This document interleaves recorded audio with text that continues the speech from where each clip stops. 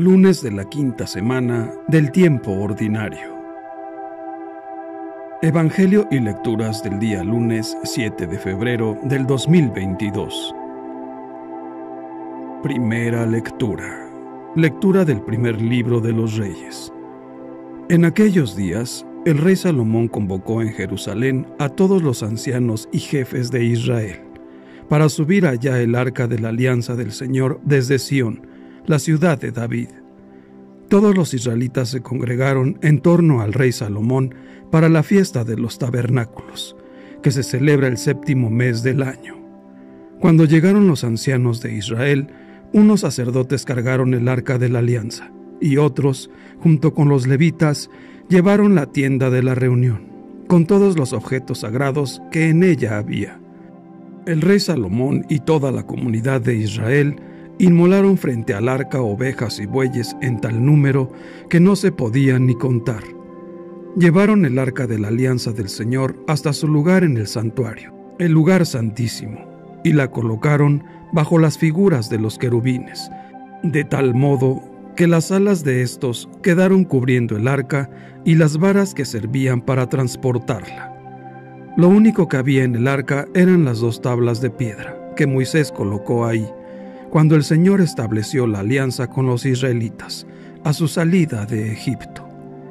En cuanto los sacerdotes salieron de aquel sitio sagrado, una nube llenó el templo, y esto les impidió continuar oficiando, porque la gloria del Señor había llenado su templo.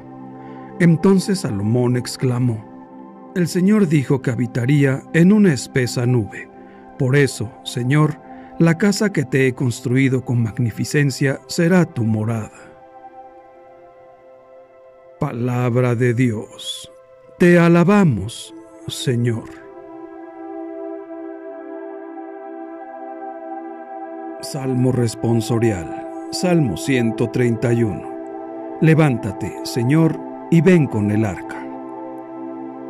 Que se hallaba en Efratá nos dijeron, dejar en los campos la encontramos Entremos en la tienda del Señor y a sus pies adorémoslo, postrados. Levántate, Señor, y ven con el arca.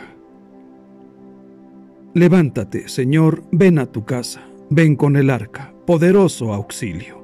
Tus sacerdotes vístanse de gala, tus fieles jubilosos, lancen gritos.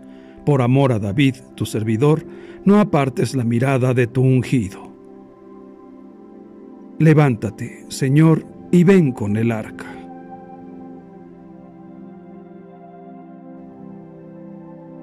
Evangelio. Lectura del Santo Evangelio según San Marcos, capítulo 6, versículos del 53 al 56. En aquel tiempo, Jesús y sus discípulos terminaron la travesía del lago y tocaron tierra en Genezaret Apenas bajaron de la barca, la gente los reconoció y de toda aquella región acudían a él, a cualquier parte donde sabían que se encontraba, y le llevaban en camillas a los enfermos. A donde quiera que llegaba, en los poblados, ciudades o caseríos, la gente le ponía a sus enfermos en la calle y le rogaba que por lo menos los dejara tocar la punta de su manto, y cuantos lo tocaban quedaban curados. Palabra del Señor. Gloria a ti, Señor Jesús. Reflexión. Con este breve pasaje termina San Marcos este polémico capítulo de la actividad apostólica de Jesús. Es importante notar en él que Jesús cura a todos los que se acercan a él y lo hace no como una recompensa por haber escuchado el Evangelio o como pago a alguna buena acción. Con ello nos muestra la gratitud de Dios, su amor infinito por todos, del Dios misericordioso que hace nacer el sol sobre buenos y malos. Los milagros de Dios no son propiedad exclusiva que se ha de realizar en los cristianos, ni siquiera en los buenos. Son, ante todo, un signo del amor incontenible de Dios que busca que su criatura lo reconozca como la fuente del amor y de la misericordia.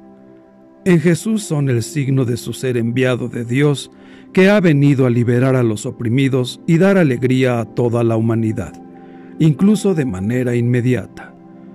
Acerquémonos con confianza al Dios de la misericordia.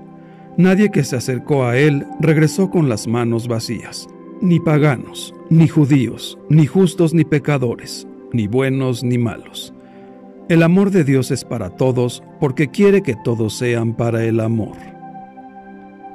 Que Dios nos bendiga a todos. Amén.